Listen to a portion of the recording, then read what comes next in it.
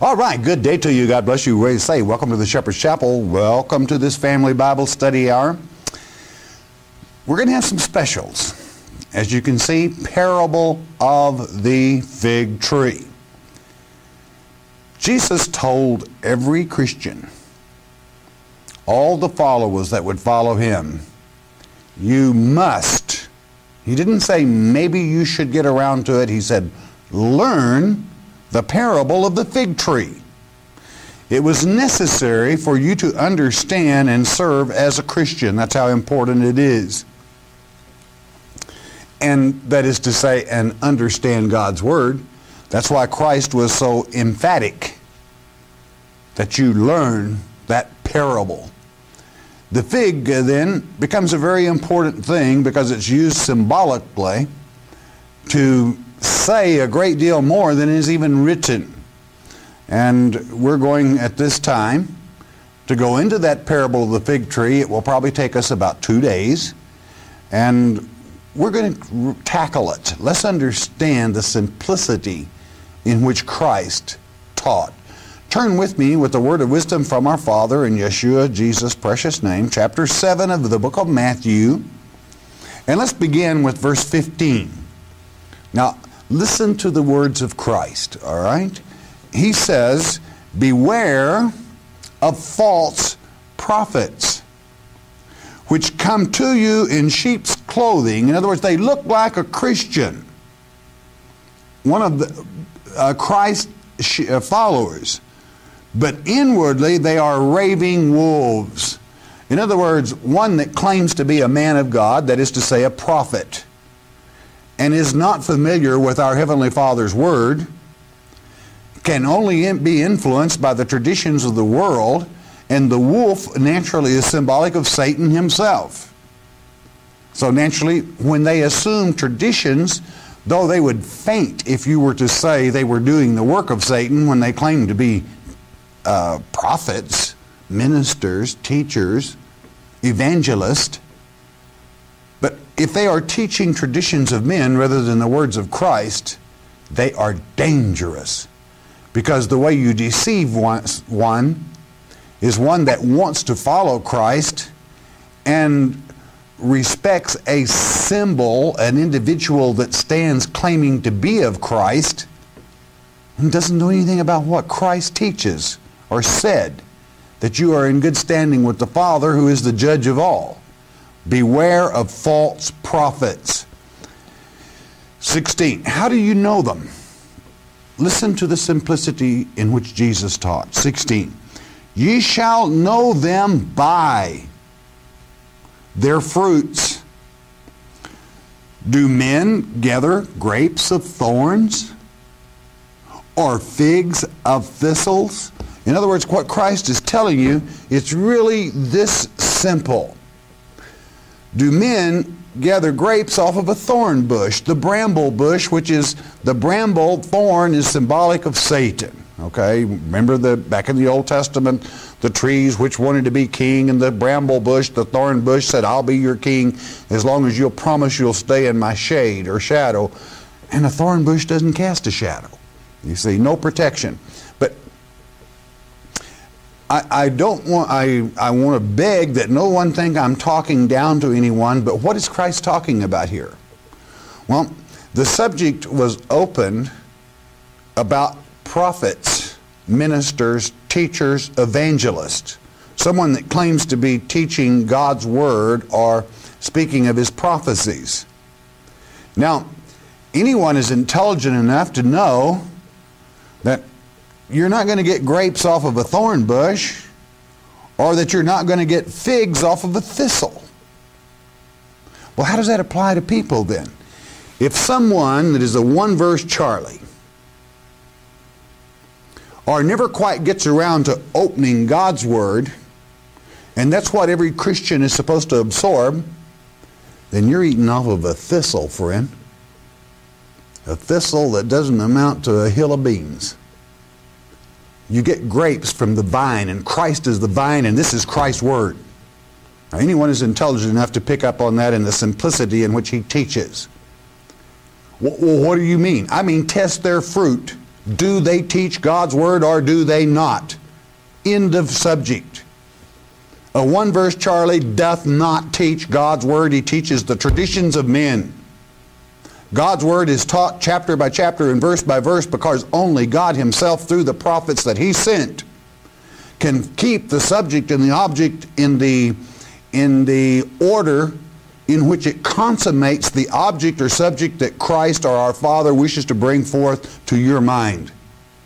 So you test the fruit of a prophet, teacher, minister, evangelist by whether or not their fruit, that is to say, that that comes forth, is God's Word. It's that simple. Got it? Okay. 17. Even so, every good tree bringeth forth good fruit. In other words, if someone really teaches God's Word, it brings forth good fruit, that is to say, uh, people's minds filled with God's truth. But a corrupt tree bringeth forth evil fruit. In other words, there a corrupt tree that claims to be a tree of prophecy is going to actually be a bunch of beggars. That's what it's going to end up being. Because God will not support them. Thus, they must become beggars. I, know I may offend some, but it's time. You know, we're in the final generation, which this parable of the fig tree, that's one of the reasons Christ wanted you to learn it.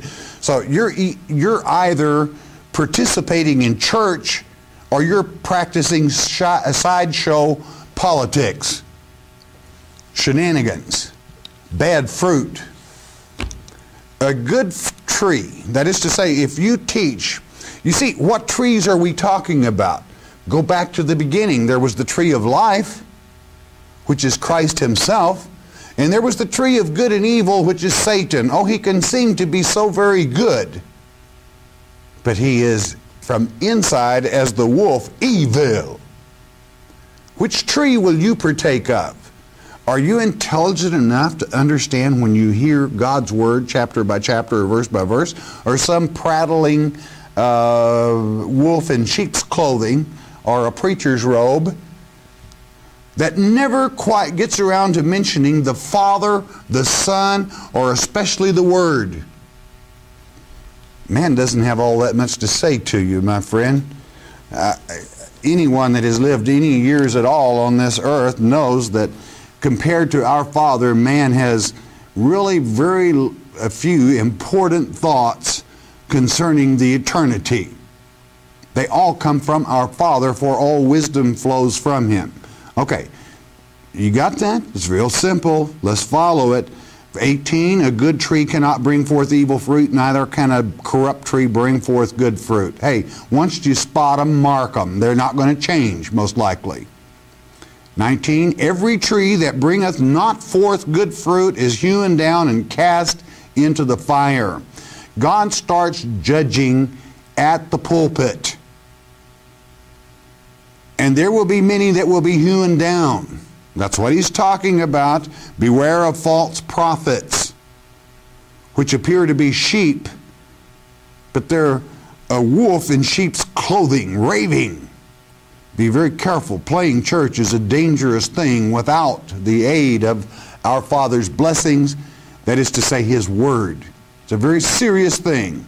20. Wherefore, by their fruits ye shall know them. Know who? False prophets, false preachers, false teachers. You will know them by their fruit, whether they are beggars or men or women of God. It's that simple. Verse 21. Not every one that saith unto me, Lord, Lord, shall enter into the kingdom of heaven, but he that doeth the will of my Father which is in heaven. In other words, there's your answer. Well, how do I know the will of my Father in heaven? From His Word. Is that difficult? This is the tree that you partake of. This is the same tree, and as much as the living Word is Christ, then it is the tree of life um, that you discover in the 22nd chapter of Revelation that gives life for the eternity. And your good fruit is right here from the Word of God. And what God is saying, everyone that says, Lord, Lord, is not going to make it. Because there are many that say, Lord, Lord, and absolutely have no conception of what the Word of God teaches in reality, in the simplicity in which Christ taught. Verse 22 Many will say to me in that day, Lord, Lord, have we not prophesied in thy name? Question. Oh, hey, they spent years of bapati, bapati, bapati, bapati. Preach, preach, preach, preach. And probably have not taught one chapter from God's Word. But they told about old Aunt Hannah and old Uncle Joe and, and Billy Joe from Kokomo and what a great person they were. Do you know what God, do you know what Christ is going to say to characters like that that claim to be preachers, teachers, and prophets of God's word? And in thy name have we cast out devils. Oh, yes, we've held revivals and we've chased those devils around the room. And in thy name have many wonderful works. We built such great, wonderful buildings in thy name. 23. And then Christ speaking, Will I profess unto them, I never knew you. Depart from me, ye that work iniquity. Get out of my sight. Do you know, are you a fruit inspector? Are you intelligent enough that you can tell whether someone is teaching God's Word? To teach God's Word, you must read from His Word. You must convey the thought that God has in the metaphors, idioms, figures of speech, acrostics, customs of the time, and let the Word do the teaching in the simplicity in which Christ taught to be teaching Christ's Word.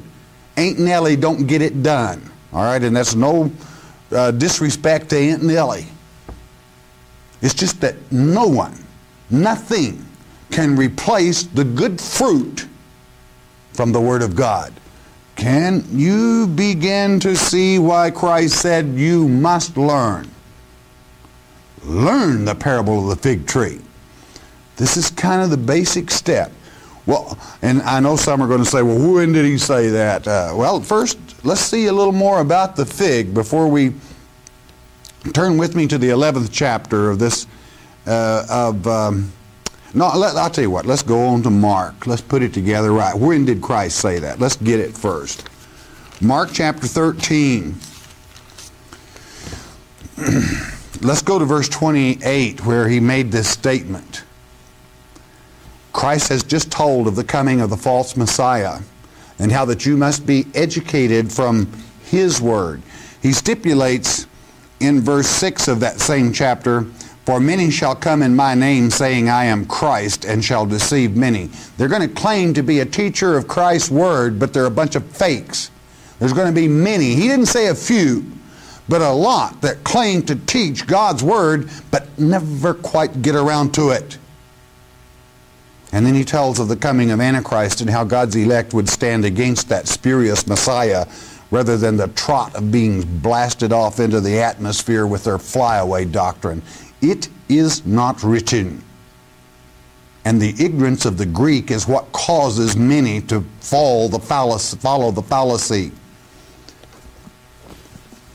He did not say maybe the false Christ would come before we gathered back to him.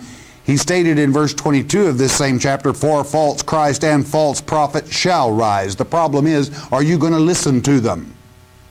Well, how do I know? He just told you. You listen to the one that produces the vine or the tree of God's Word and teaches you how to deal with it whereby you can understand it. Now, concerning the one subject that we're following now, the fig tree, verse 28. Let's have it on the screen if we may. Of the 13th chapter of Mark. Christ continuing in that same vein. Now learn a parable of the fig tree. He didn't say maybe. He didn't say perhaps, he said learn it. When her branch is yet tender and putteth forth leaves, did it say fruit? No. When it putteth forth leaves, ye know that summer is nigh. Well, what summer? It's harvest time, end of the world. The question at the beginning of this chapter is when is the end of the world coming? When is Christ returning? And he gives the seven events that are the seven trumpets that consummate the end of this age. Are you familiar with them? I pray you are. We just covered the book of Revelations. You should be. You see, you learn a great deal when you listen to the teachings of God and get the real fruit right from the source, the living tree, rather than a bunch of traditions. Betty by stories, sweet by and by. All you have to do is, all you have to do is get the fruit from the right tree. There's only one that's the Word of God, regardless of who is the reader or whatever. The only fruit comes from the true tree of life, which is to say, Christ, the living word, this word. Verse 29. So ye in like manner, when ye shall see these things come to pass, that's the seven events that consummate this, the end of this age, and they are rapidly. Know that it is nigh even at the doors. In other words, you're right at the door of the end of the age. That's how you tell. What do you mean, how you tell? The parable of the fig tree.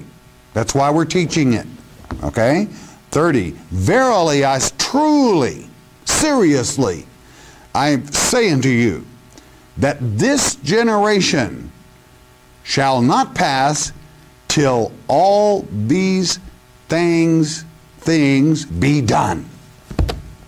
You see how important it is?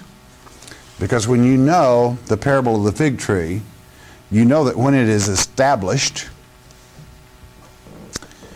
that that generation will be the final generation. No man knows, as if you were to follow the three uh, units are, are put into one article, which is to say a year, month, date, so forth, which means instant. Nobody knows the instant.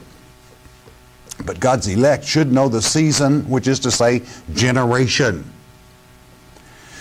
All you have to do is understand the parable of the fig tree then, and you know that generation.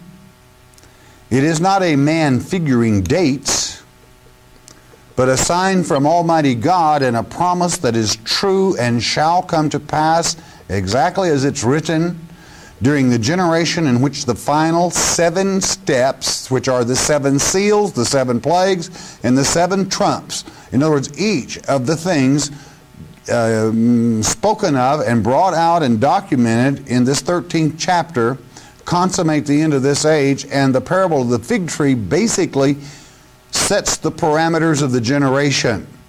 You will know when we finish this lecture on the parable of the fig tree.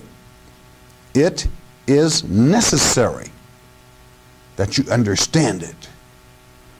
When you understand the parable of the fig tree, you understand why Eve and Adam put fig leaves over their private parts when they had sinned. It's part of the parable.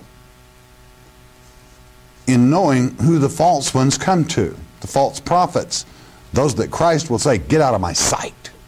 I never knew you. And there would be some that would say, Well, that's not what the scripture said. He said, Depart from me. Have you ever heard him say depart when he was angry? Was Christ ever angry? Yes, he was. Righteous indignation. We're going to turn to one of the times that he was. Continuing, step by step, building in your mind how to test the fruit of whether a minister is a real minister, teacher, or whatever you follow, or a student yourself, of what you are to read and what you are to take fruit off of to be better informed of God's Word. I quite frankly, aside from, from books written by men uh, relating historical events or documentation of travels or so forth of peoples, as far as someone writing a book that improves upon God's Word, do you know what I want to tell you? I think it's a waste of time. Don't pick man's book. Some character was going to correct me on the on the rapture theory, so called, and he, he was so stupid that he dared use a man's writing of the end of the world. Now, that is about to tell this scholar, a student of the text, to do that is an insult. The person that wrote the book he was speaking of didn't have enough sense to pour water out of a boot, much less comment on God's word, and poor innocent fools are sucked in because they cannot understand the simplicity of, honey, go to the right tree to pick your fruit and you'll be all right, which is the Word of God. No, they got to filter around in the dark and grab a hold of every false doctrine in the, in the world and expect to stumble over the truth as though it were a needle in a haystack when it was there all the time. That's what Christ is telling you. Learn the parable of the fig tree. All right, I can really get wrapped up on this subject because people are being deceived in this generation. And a child should be able to see it when they understand the teachings of God's truth. Chapter 11, verse 11 in the same book of Mark. Learn the parable of the fig tree. Listen and grow in your Father's word. And Jesus entered into Jerusalem and into the temple. Do you know what the temple is? God's house. And when he had looked around about upon all things, and now the eventide was come, and he went out unto Bethany with the twelve. In another scripture, it says he looked angrily. He sighed, which means he snorted when he saw what was going on. They were selling mite infested doves and money changing right in God's house uh, when God's word is supposed to be taught there. And offerings of the best of your flock rather than rushing down and stopping at the quick strip on the uh, quick trip on the temple steps and buying some fuzzy sickly dove and trying to offer it to God as a peace offering he wasn't happy. Verse 12. And on the morrow, the next day, when they were come from Bethany, he was hungry. Verse 13. And seeing a fig tree, wake up for me, and seeing a fig tree afar off having leaves, he came if haply if he might find anything thereon. And when he came to it, he found nothing but leaves, for the time of figs was not yet. Do you think for one moment that Christ did not know the season of figs? That is to say, when they ripen and when they don't ripen? Of course he did. He knew there were no figs and there were only leaves on this tree. And the reason he utilized it is for the simple reason know when the leaves shoot forth. 14. And Jesus answered, said unto it, Mm, and this is Christ speaking to a tree. Sounds strange? Well, listen. It says a great deal more than is written. Can you learn the parable behind it? I hope so. I pray so no man eat fruit of thee hereafter forever, period. And his disciples heard it. Do not cut yourself off from fig jam, which is probably one of the best jams in the world, because he's speaking to the bad fig. I hope if you learned one lesson about a fruit inspector that there are good trees and there are bad trees. And I'll teach you a little bit about the horticulture of a fig tree in a few moments, and it will clarify for you. Listen on. 15. And they came to Jerusalem, and Jesus went into the temple and began to cast out them that sold and bought in the temple. He took a cat of nine tails and he laid it to their backs. He hit those money tables and you could hear the coins as they rang, as they spilled, and he laid the whip to them and drove them out of the church of God and overthrew the tables of the money changers and the seats of them that sold doves, mite infested poor substitutes of your love for your father.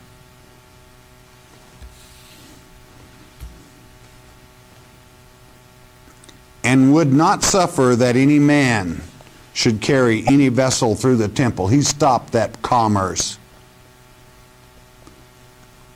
17.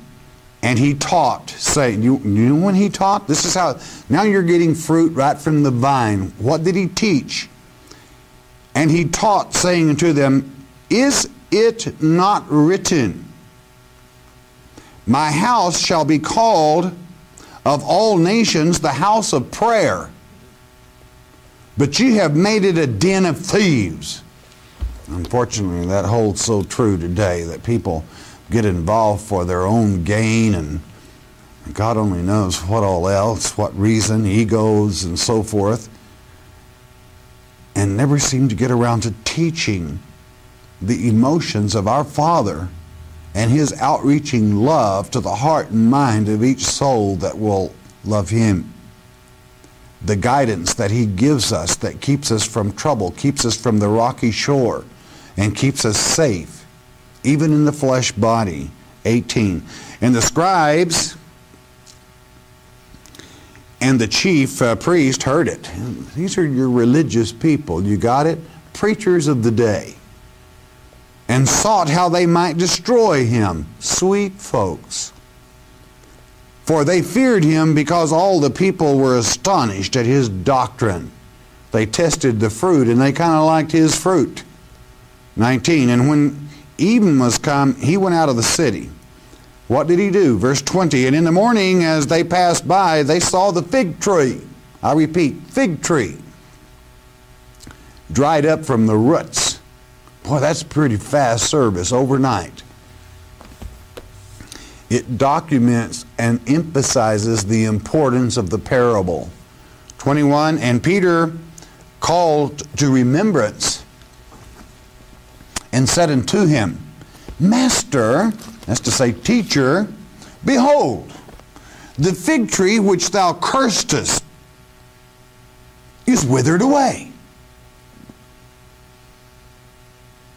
And Jesus answering said unto him, Have faith in God.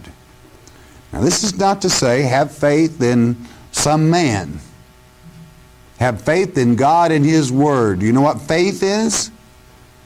23 For verily I say unto you, that whosoever shall say unto this mountain, that means this nation, be thou removed, and he's talking about the Kenite nation, the nation of the bad fig. Be thou removed, and be thou cast into the city, sea, and shall not doubt in his heart, but shall believe that those things which he saith shall come to pass, he shall have whatsoever he saith. Pretty strong statement, but it's strong in this sense. He's talking about the bad fig and its nation. And any individual that knows the truth, the real fruit from the proper tree, understands what he's saying. I want to get into the horticulture just a little bit. We'll pick this up in the next lecture then so that you totally understand the parable. But you must understand this horticulture. Well, why would he use the fig tree? Because of its horticulture. You would see the entire picture if you looked. Anytime God uses something as a symbol, the entire life of that insect, animal, plant, or whatever gives you the most in-depth thought of his mind that he's relating to you. What about the fig tree? I'm going to use two uh, types. I'm going to use Smyrna, like the church of Smyrna. Smyrna fig is a very good fig. It's the female fig. And then there's the caprifig, which is the male fig. unedible, terrible. You can't not eat them. They are so bad. Well, why would God create something like that? Well, listen. Listen. Number one, you do not plant a fig tree by a seed. You set out a shoot. And that is symbolic of the nation that would be planted of both the good and the bad fig that would consummate the end of the age, the generation, that is to say, the beginning of the final generation. So it's very important. Now, many people feel that the fig is a non blossoming plant, and that's false. You see, in the end of each fig, there's a tiny hole. And then inside the fig plant itself is the many, many blossoms inside the fig. Again, the Smyrna or the good fig is the female. The Capri is the male or the goat fig, is what some keepers call it. And it likewise has the little hole with the flowers inside. It's the male. Now there is a little fig wasp. Yes, I said wasp. And you must gain every ounce of information fitting your generation because it was written, the parable of the fig tree was written to the final generation when the terminology wasp would mean more than a little flying bug. The wasp, though, which is known as the little fig wasp, goes into the little hole at the end of the fig on the caprifig tree that man cannot eat and takes the pollen from the flowering plant from within and then goes to the Smyrna, the female tree, and pollinates the fig whereby the fig can have a continued life. In other words, the wasp, you can be thankful to it that both the good and the bad fig tree exist as God created them. And that, my dear friend, is very true today. That the dumb wasp, as some call them, and I certainly called some of them dumb, which offends a great many people, but be that as it may, I could care less. They support and make possible both trees also because of their ignorance of testing fruit, which is to say, understanding the living Word of God, that they do not know one tree from the other. And I speak spiritually now, not the difference between the Smyrna and the Caprifig. They don't know whether they're hearing the truth or not. Because they don't understand how to, uh, the simplicity in which Christ taught. What tree is it coming from? If it's coming from the Word of God, then you're, you're practicing good fruit if the common sense in which Christ teaches flows with the subject, and the teacher that is teaching teaches you how to understand it for yourself. That's the only way you will ever find the good mark of a teacher is that he teaches you how to check him or her out, to document what they say, whether it is true or not, not from traditions of men or some stupid book about end times written by some nut claiming to be a Christian. And many people say, well, that's old Barney. Everybody knows Barney. Barney's, I love you, you love me, we've got a family. Now, now, God bless the lady that brought forth the character that teaches love to children. Unfortunately, there's nothing but a bunch of children playing church that the Barney song would fit quite well to sum up their entire works as far as fruit being produced. So, it is no accident that the church of Smyrna, the good fig, teaches who the Kenites are.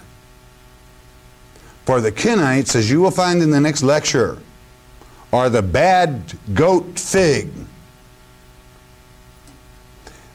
that brings forth, even into this day, and helps you better understand what would happen in the final generation whereby you could tell that that consummates the end of this age. It's very simple. So simple the way Christ teaches.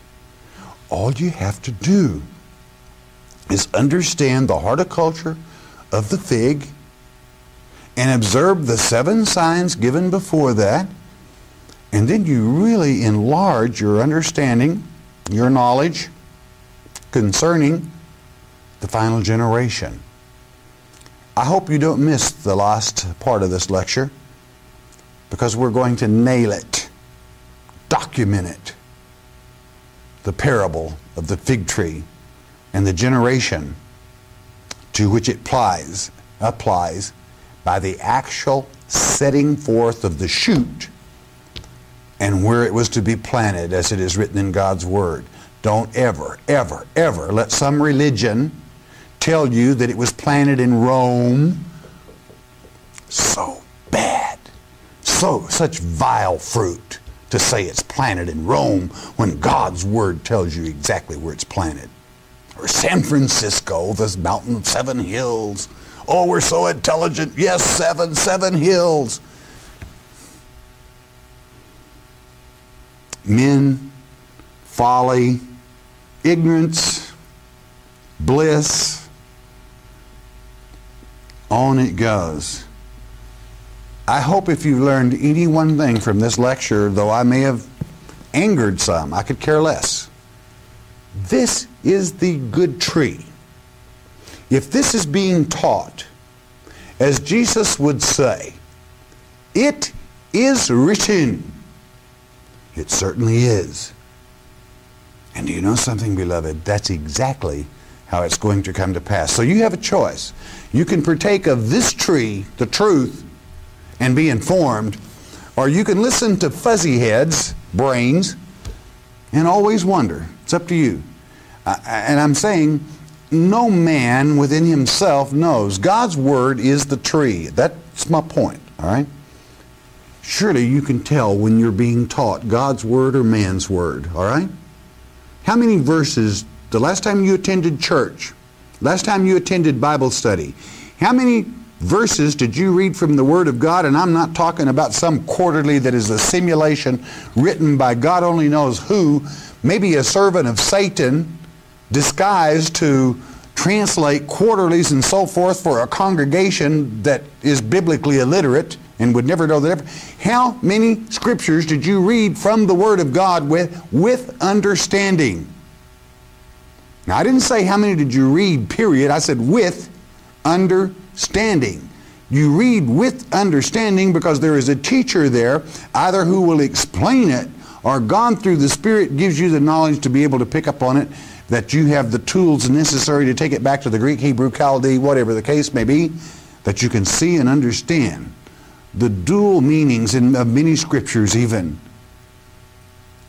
and feel that friendship and closeness to our Father by communicating with Him in His Word. What am I saying? Were you taught out of God's Bible or were you taught from some book published and printed by man? Hey friend, if you're not smart enough to know, you can get in trouble with this other junk coming from God's Word, you're never in trouble. Jesus said, that is the tree and that only. Do you know what he's going to say to many of these others? And some of them are good. I'm not knocking or anything. I'm just saying anytime you get away from the Word of God, you better have your safety belt on, friend. Because you may be in the group that he says, get out of my sight. I never knew you. You read that trash written by, do you know who? I would say the same thing to those that read quarterlies, do you know the individual that translated it from the Hebrew and Greek? I will even go as far to say, were they Christian? Because a Christian that will let a non-Christian do his translating for him is a fool. That's simple. I'll document that. Many years ago, the the story was started that Christ was married to Mary Magdalena. This is not an insult, but what he did, he stated a non-Christian translating the manuscript saw where Mary Magdalena was espoused to Christ. Well, now a Christian knows what that means. He was speaking spiritually. So they don't know come here from Sikkim about translating Christian literature. So take it from the tree. I don't want to digress, but I want to nail the point. The child knows when they're studying God's Word or something else. Which do you want to answer to? Somebody else or God? I'll tell you who you're going to answer to God. Think about it. All right, bless your hearts. You listen a moment, won't you please? All right, good day to you. God bless you. Say, welcome to the Shepherd's Chapel. Welcome to this family Bible study hour. Parable of the fig tree. Christ didn't say, maybe you should learn the parable of the fig tree. He said, learn it. And quite frankly, there is no way that you're going to know the season of the final generation without the information, the parable of the fig tree. Now let's go back, if we may, to the first lecture on this subject. Let's uh, recap it just a little bit so that you're familiar. Naturally, in, Ma in Mark chapter 13 is where you are told, learn it. That was his sermon, giving you the seven events that consummate the end of this age, which is to say, they're the same as the seven trumpets, the seven seals, and the seven vials, put forth in the simplicity in which Christ only could teach. But he said, learn the parable of the fig tree. Well, then um, taking that into consideration, we went to the incident where he cursed this particular type fig tree. And always remember, when God utilizes a plant, an insect, or an animal, it symbolizes a great deal more than is written. What is it about a fig tree? The fig tree is not planted by seed, it's set out as a shoot planted as a shoot. And then it comes forth, the naturally leaves first. And that's what you were to be on guard for because the fig he wanted you to observe does not produce fruit that is edible. In other words, the bad fig. But there's also good figs. We're going to be covering that in this particular lecture. Now, with that thought in mind, why would he say that and why is the fig tree used to symbolize so much in our Father's Word through the teachings of Christ, such as that he would go to one, he knew it was out of season, he knew there would be no fruit on the tree, and yet he cursed the tree. Therefore, we know that there are two type fig trees. Real quickly, Smyrna, the name of the church mentioned in Revelation chapter 2, verse 9, that he was pleased with, the Smyrna fig is the female fig. The caprifig is the male or goat fig, which is unedible. You can't eat them, they're unfit to eat. However, there is a little hole in the end of each fig. The, um, the uh, lower part of it, and within the fig are the flowers of the tree. In other words, it is a flowering plant, it's just that they are inside the fig itself. And there is a little wasp, fig wasp, that pollinates back and forth between the male and the female fig. With that having been said, let's go to Jeremiah chapter 24, which is the heart, if you would, of the parable of the fig tree. With that thought in mind, we ask a word of wisdom from our Father. Let's get cracking. All right, 24 verse 1. The Lord showed me, and behold, two baskets of figs were set before the temple of the Lord.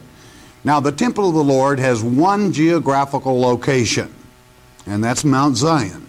So understand where you are ge geographically speaking so that you understand the prophecy.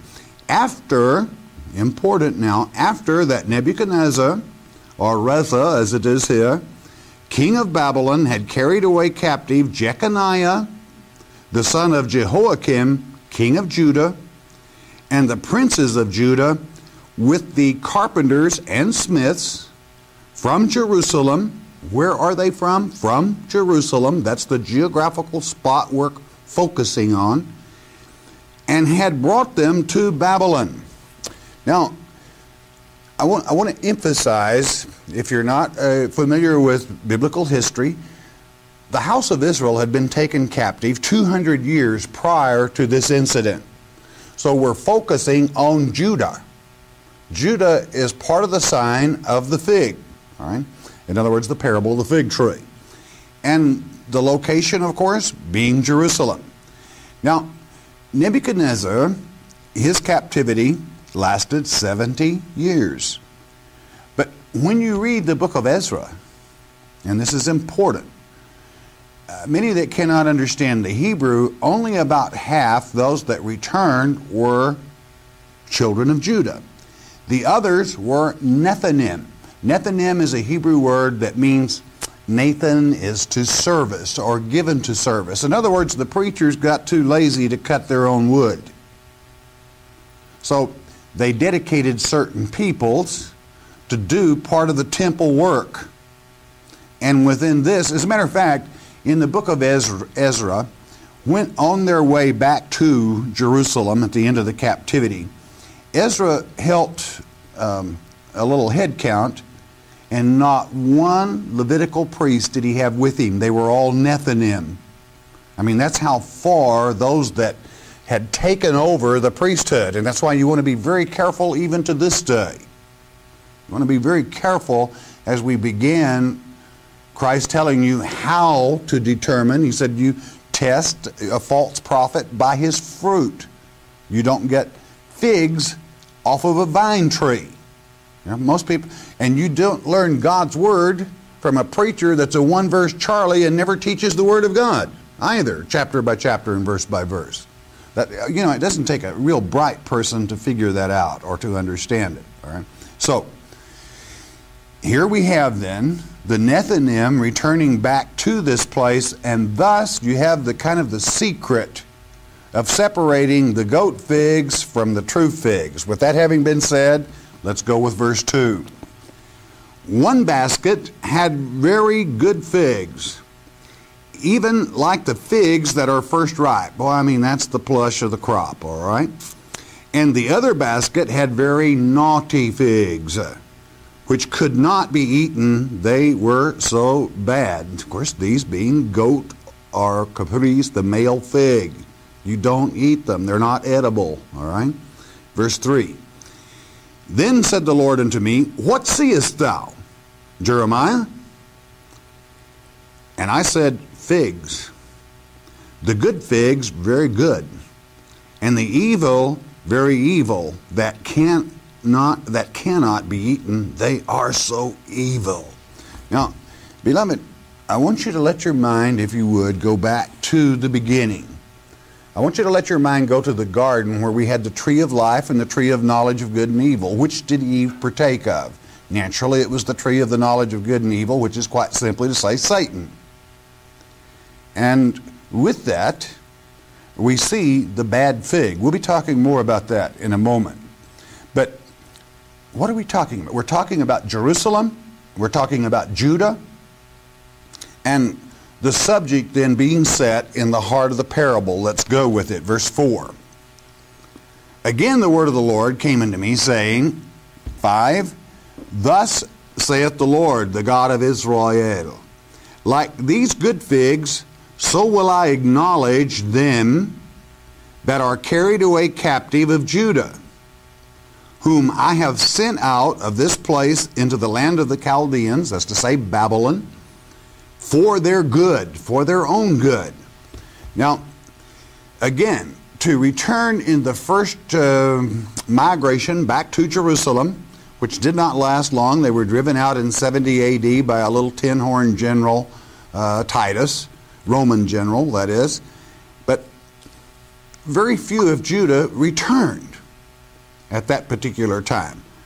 God said, I'm going to treat certain as very good figs. Six, for I will set mine eyes upon them for good, and I will bring them again to this land, and I will build them,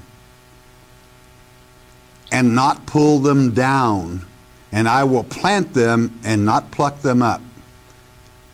What has happened in your lifetime?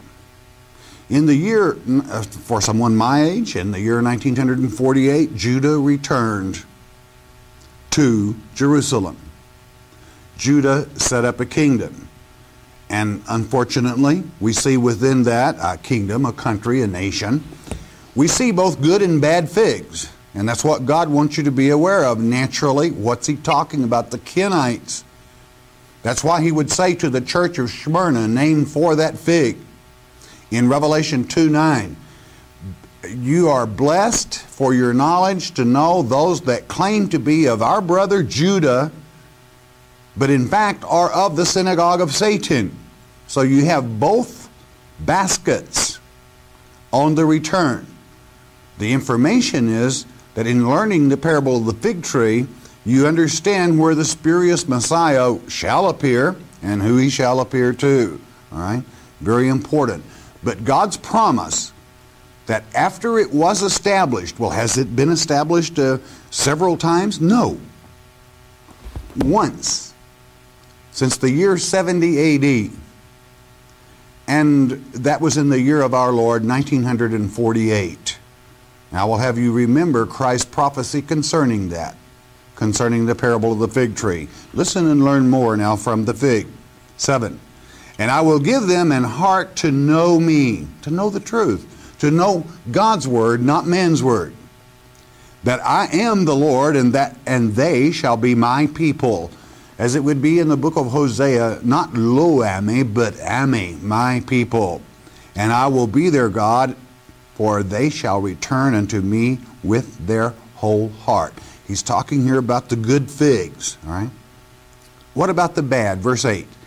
And as the evil figs, which cannot be eaten, they are so evil, surely thus saith the Lord, so will I give Zedekiah, the king of Judah, and his princes, and the residue. What does residue mean?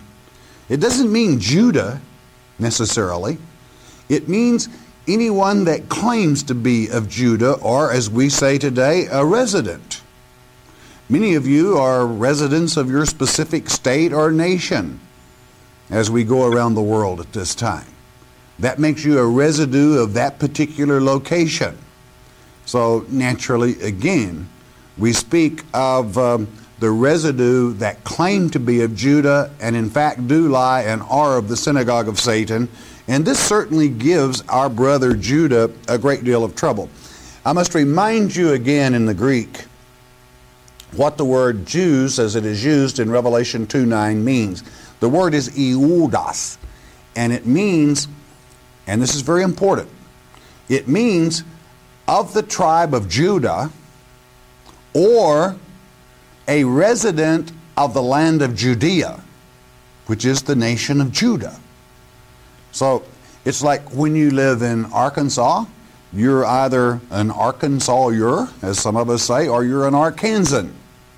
But that has nothing to do with your tribe, your heritage, or anything else. That's, a, that's an identifier by geographical location. This has caused our brother Judah a great deal of difficulty, and it's important that you remain open minded whereby you recognize that. Now, and the residue of where? Of Jerusalem. Not Rome, not some other city, of Jerusalem. That remaineth in his this land, and them that dwell in the land of Egypt. Verse 9. And I will deliver them to be removed into all the kingdoms of the earth for their hurt. And so the Kenites were, along with uh, certain other elements scattered to the world, and yes, to their own hurt. To be a reproach and a proverb, a taunt and a curse in all places whither I shall drive them. And so it is, not only to Judah, but to the house of Israel, which is the other ten tribes. We were promised by God in the book of Amos in chapter 6, verse 14, that we would be cursed at, from the time that the nation Hemath, from the entering in of Hemath, who was the father, one of the fathers at that time of the writing of the Kenites, which simply means sons of Cain, and um, that we would be cursed from that time forward. Uh, and certainly they are bad figs. Have been, always will be, and continue to be.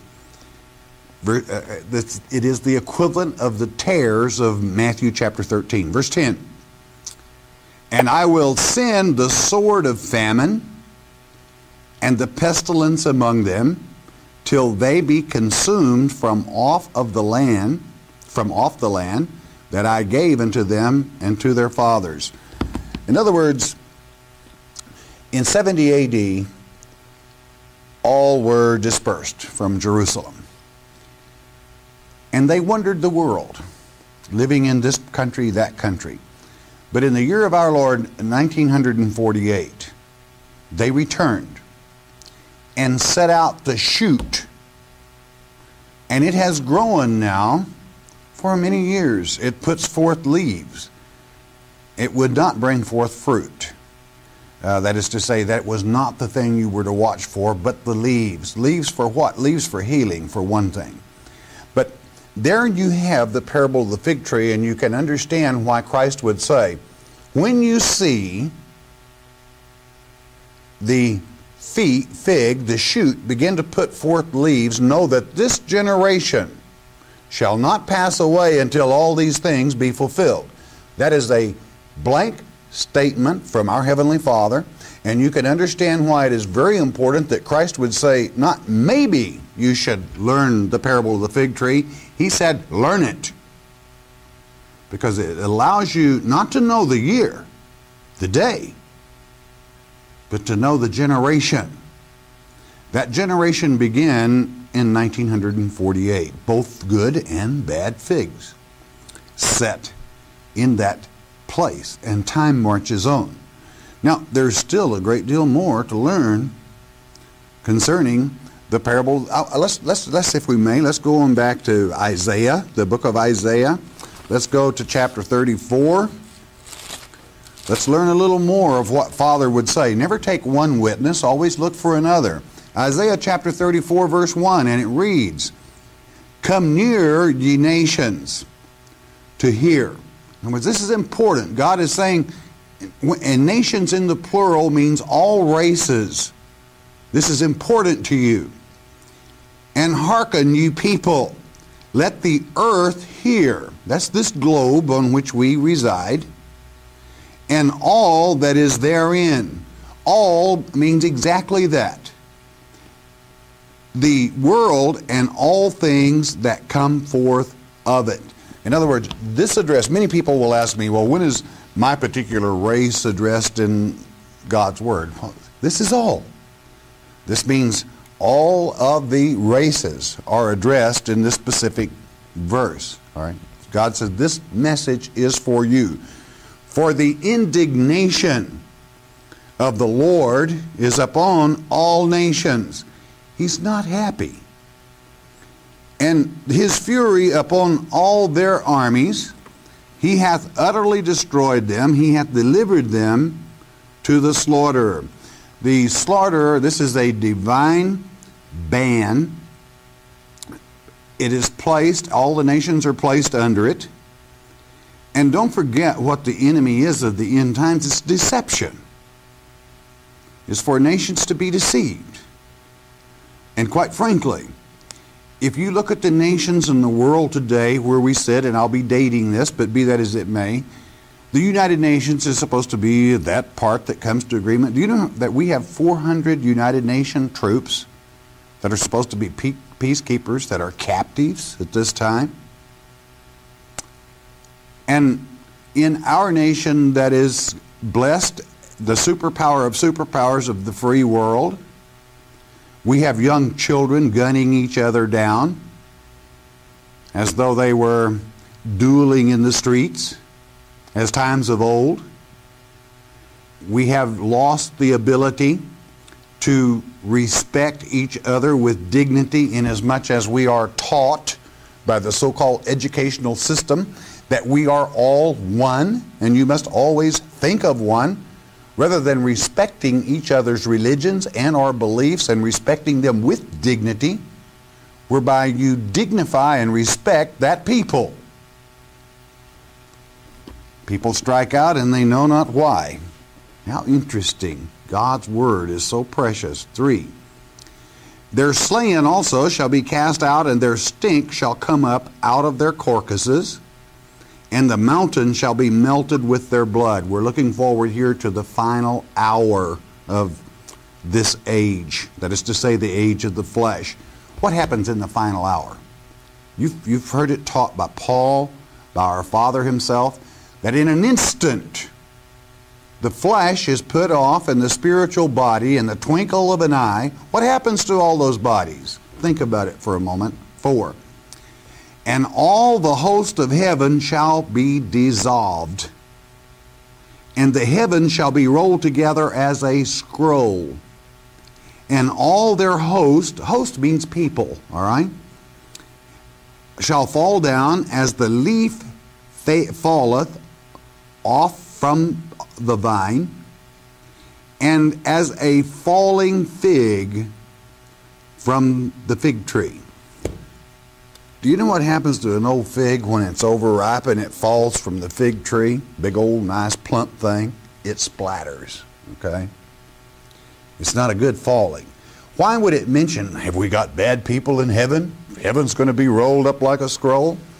Is it not written in 2 Peter chapter 3 verse 10 that this earth age shall be destroyed by fire, only it is the what specifically that will be destroyed? The elements, which is a Greek word meaning rudiments, which means only the evil, not the good. God isn't angry at those that care. None of us are perfect, but if you care, if you try to serve Him, He has no argument with you as far as destroying you or anything about you. But the evil fig, as the fading fig, shall be destroyed. Now, many would say, well, what does he mean heaven is rolled up? We move into the third heaven age, from the second to the third, when that particular time comes. And never forget, as Christ would teach you in Luke chapter 16, concerning the parable of Lazarus and the rich man, when you see paradise, and, and you see Lazarus, which is a Greek word that is the equivalent of the Hebrew word Eleazar, which is the chief priest of Aaron's son, meaning preacher teacher, was in the bosom of Abraham. In other words, he was brought back to good standing through Christ's teachings. But the rich man was across the gulf that man could not cross. In other words, where did the dead people go? Well, to be absent from this body is present with the Lord. They are in paradise, but not in good standing. So naturally, there must be a, a millennium, thus it shall be.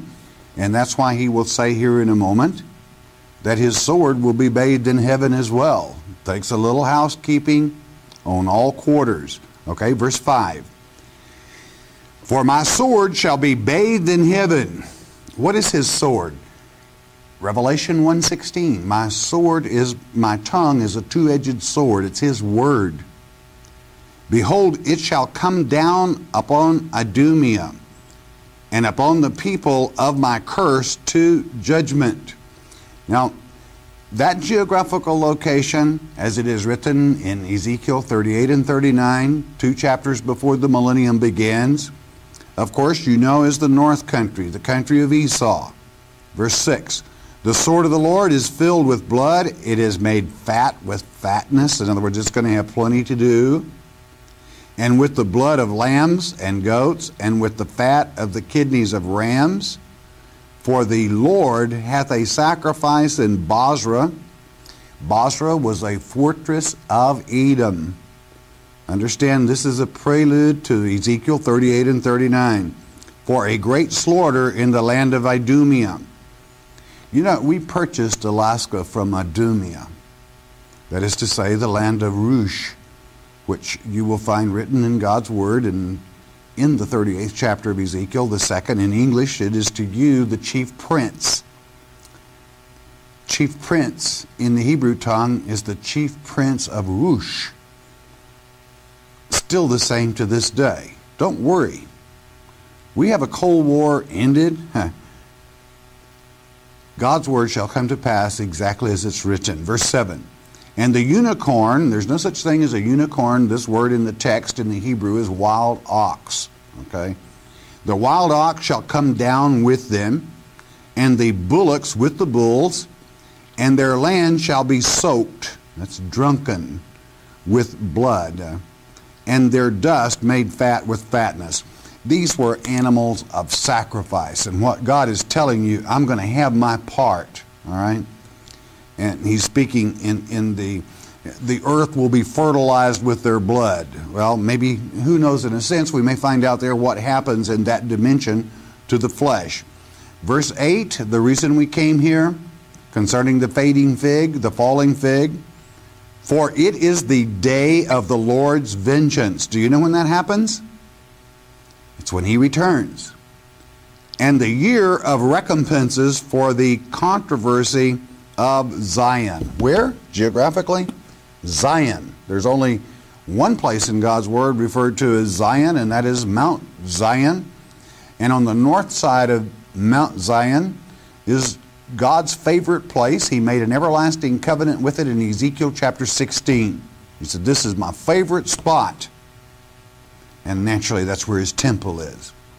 So on the day of recompense, those that understand our Father's Word, that He loves His children, all of them, I don't care what race or color you are, that He loves you, and inasmuch as you try, even though you fall short at times, repent and get back in good standing.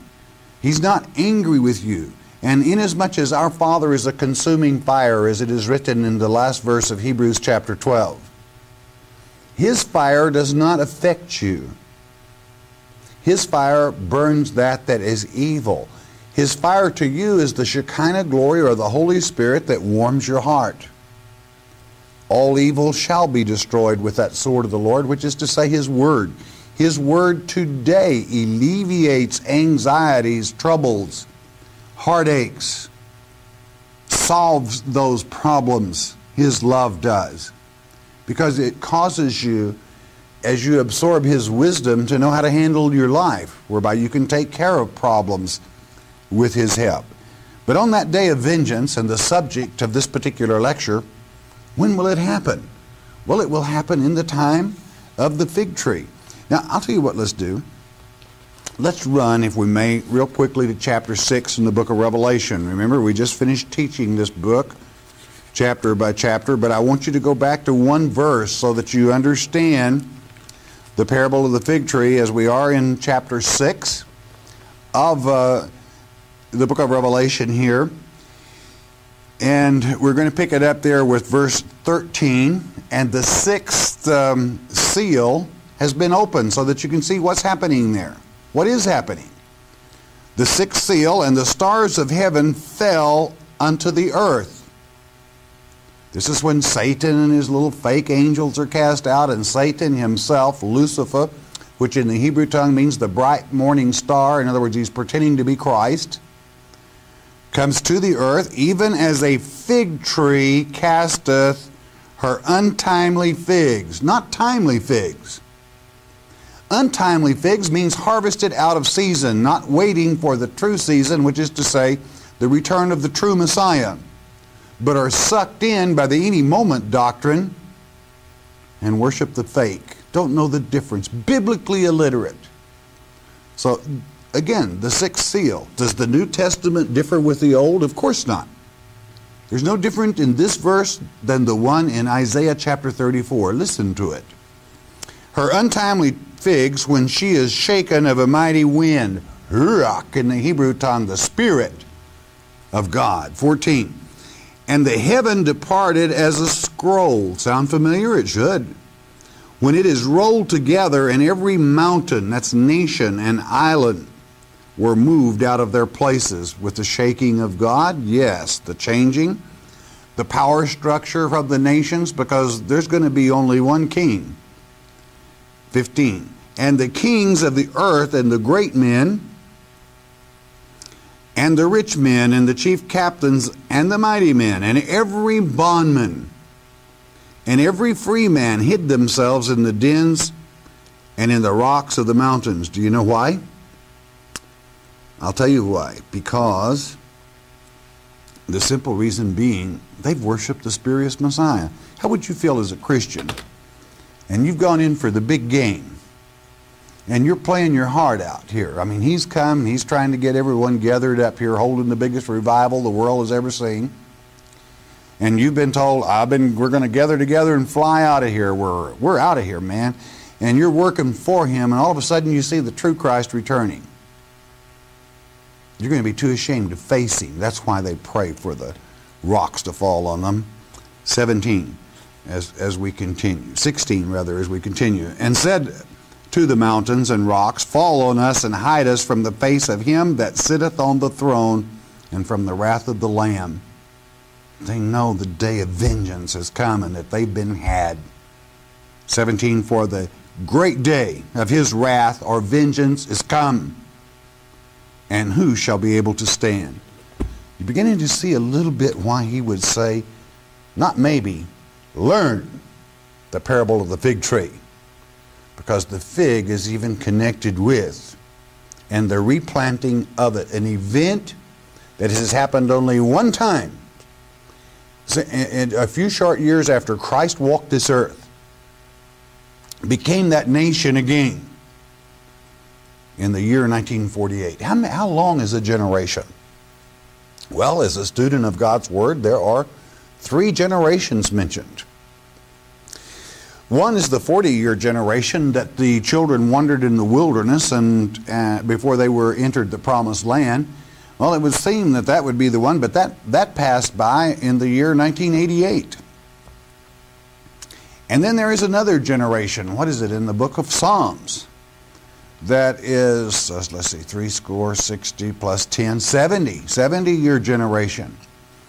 And then there's another generation it's back in Genesis chapter 6, where the Nephilim uh, from the prime Hebrew Napha, fallen angels, saw the daughters of Adam. They were beautiful. And they took them, and children were born to them, these misfits. And they were Geba, giants. Uh, so God, it grieved God that He had placed man in flesh. That means that he had taken the souls that he had created in the beginning and caused them to be born innocent of woman into a flesh body. Born innocent to make their own mind up whether they're going to love him or love the other, Satan, that is to say. So that's, that's a 120 year generation. I can tell you exactly how long it's going to be. It's going to be from the time of 1948 until Christ returns But the signs of every promise that we would go into one worldism. You don't know it, but you took one of the greatest steps towards one worldism yesterday, and it's called GATT. A lot of our solventry, though, can we live with it? Of course we can. We can. We'll, we will compete with anybody and win. Why? We're a blessed nation of God leader in the free world. Are we not mentioned in God's word? Wouldn't God be a little small had he created a nation that is is the leader of the free world without having been mentioned? Anywhere the ten tribes go, thus the blessings of God as he promised. Now, what about the fig tree? Where did it start though? You are told in Revelation chapter 13, verse 18, that you are to count the number of the beast. That means what he's saying. He says, Here's wisdom. I'm going to tell you how to spot him. We'll just bring this right down where the rubber meets the road. The word count, as it is utilized there in the Greek, means to enumerate by pebbles worn smooth over a long period of time, like you would carry them in your pocket, you know, to cast lots with or something like that. Over a long, I mean, watch them from the very beginning I want real quickly to go with you to Genesis chapter 3, where the trouble started in the beginning. Now, unfortunately, due to the fact that the majority of people in this generation are biblically illiterate, they've been taught by certain one verse Charlies, oh, yes, Eve was strolling out in the park one day, and here come a snake. Doesn't matter that in the book of Revelations you are told that that old serpent Lucifer, the dragon, or the devil and Satan. Now, it was a snake. And they climbed up an apple tree. And Eve partook of the apple. Now, that's a lie. It's not biblical, it's not in God's Word. And when you lie to children in the Sunday schools of God's own house, you're deceiving them as far as understanding the clarity of God's Word. And quite frankly, Christ Himself would teach on the flip side of this coin of the parable of the fig tree, the parable of the tares, he said, You'll either understand this parable or you won't understand any of them. And what was that parable of the tares? That Satan came in the night and planted tares in the garden of God, and the children of the good seed were of God, and the children of the bad seed were of Satan. All right? Be that as it may. Okay, let's go to Genesis chapter 3, verse 6. Listen to the woman. What kind of a garden were they in? What kind of a grove were they in, truthfully, from God's word? And when the woman saw that the tree was good for food, and that it was pleasant to the eye, remember what Christ told you about checking the fruit, be a fruit inspector, all right? You should know by the fruit. If you get an orange off of an apple tree, something's wrong. Got it? That it was pleasant to the eyes, and a tree to be desired to make one wise. She took of the fruit thereof and did eat, and gave also unto her husband with her, and he did eat. Now, listen to that carefully. She took of the fruit, and by their fruit you shall know them. The God's commandment was in verse 3 that you shall not touch it. Do you know what that word touch is in the Hebrew tongue? It's naga. Do you know what it means? It means to lie with a woman in, in one case. So don't be deceived. As Eve would say, I was beguiled by the serpent. Paul would teach in 2 Corinthians chapter 11, I'm jealous because I have espoused you to one husband and I don't want you to be beguiled as Eve was by the Satan. The word beguiled in the Greek is exapatao and it has one meaning only, to be wholly seduced. And then he continues, because I want to present you as a virgin. Do you know how you lose your virginity? Wake up. Teach your children the truth at a level they can understand. Okay? She took of the fruit herself and then shared with her husband the same fruit. Not her fruit, but the fruit she partook of. Verse 7 And the eyes of them both were opened. Do you know that this is the prime of the word atash, which is uh, tree? The word tree is etz in the Hebrew, but it comes from the prime atash, which means the backbone. These are our limbs. The backbone is this, the skeletal formation through which the central nervous system runs that gives you knowledge when it ties into the brain. You're supposed to think with it. The, surely your eyes will be open, or the opening or closing of the eyes is a part of the word atash. And they knew that they were naked. How did they know that?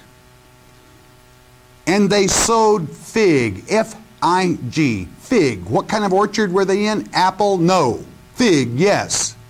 Fig leaves together and made themselves mask from where they had eaten the apple. That's not what God's Word says. Don't lie to children in churches. Gave them aprons. They covered their private parts. And they heard the voice of the Lord God walking in the garden in the cool of the day, and Adam and his wife hid themselves from his presence. From the presence, rather, of the Lord God amongst the trees of the garden. And the Lord called unto Adam, and um, unto Adam, and he said unto him, Where art thou? Where you at? He knew, 10. And he said, I heard thy voice in the garden, and I was afraid because I was naked and I hid myself. 11. And he said, God, who told thee thou was naked? I mean, they were innocent. How do you know that you are naked? Hast thou eaten of the tree whereof I commanded thee that thou shouldest not eat? And the man said, The woman, man's been doing it ever since. Woman's fault. The woman whom thou gavest to be with me, she gave me of the tree, and I did eat. And that's exactly the way it was. Satan can appear to be whatever he wishes to. 13. And the Lord God said unto the woman, What is this that thou hast done? And the woman said, The serpent beguiled me, and I did eat. You want to know what the, the results of it was? And I will put enmity between God talking to the serpent then in verse 15. And I will put enmity between thee and the woman, and between thy seed, sperma, and her seed. It shall bruise thy head, and thou shalt bruise his heel. And so it was through the woman that Christ would be born. and his heels were nailed to the cross. But on the day of vengeance, Satan's head gets it. All right? So, there you have it. Now, why, in as much as we've gone through all this, why is it that the parable of the fig tree was important? I'm going to read it in closing one time for you. Mark 13, where Christ has mentioned the seven events that will transpire just before the day of the Lord. Any child can understand them if you understand the parable of the fig tree. But this is why he told you, why it's so important at this time. Mark 13, verse 28. Now learn, not maybe, learn a parable of the fig tree. When her, when her branch is yet tender and putteth forth leaves, ye know that summer is near. You know what summer is? That's harvest. 29. So ye in like manner, when you shall see these things come to pass, know that it is nigh even at the door. Verily I say unto you, that this generation, what generation? The generation when Judah would be returned as the good fig, and the Kenite is the bad, bad fig back to Jerusalem. 1948. This generation shall not pass till all these things be done. Heaven and earth shall pass away, but my word shall not pass away. Why is the parable important? It lets you know the final generation without any man's date setting or anything else but pure word from God. And when you live in a generation that you can see it, you can see the prophecies unfolding daily around us. How precious the word is that God, if we take a moment to look into the in depth truth in the simplicity in which He taught, we can learn a great deal about the generation we live in, the generation in which the parable of the fig tree is unfolding and revealing itself. God's not angry at you if you're trying. And I don't care if you're in the gutter, I don't care if you're struck, uh, strung out on drugs. He loves you. Doesn't like what you're doing if that's what you're doing. But He will help you. He's calling out a people that can see the simplicity in which He teaches to be a champion in this end generation. I don't know. Do you have eyes to see and ears to hear? Think about it the parable of the fig tree. All right, bless your heart. You listen a moment, won't you please?